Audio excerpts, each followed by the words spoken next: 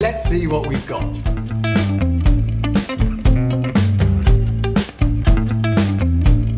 Some beautiful tulips grown in Lincolnshire. For the first time this year, some frothy Tanacetum. Monet's inspiration, some beautiful irises, some very long-lasting Alstroemeria, some wonderful fresh white avalanche roses, and some delicate Lisianthus.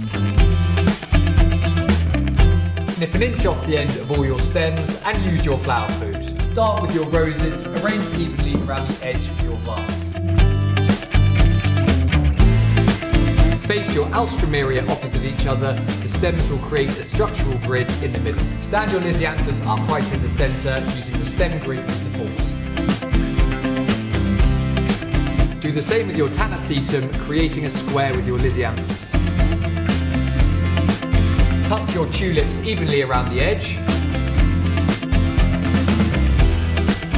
And finish with your irises dotted throughout. I'd be lying to you if the colour of this arrangement wasn't inspired by my favourite little eggs.